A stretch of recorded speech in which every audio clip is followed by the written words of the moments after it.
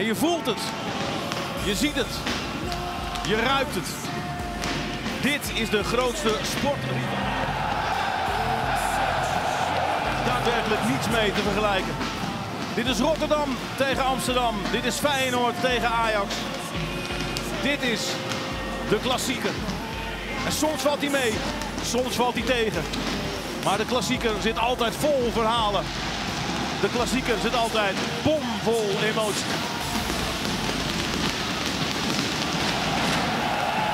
Emotie.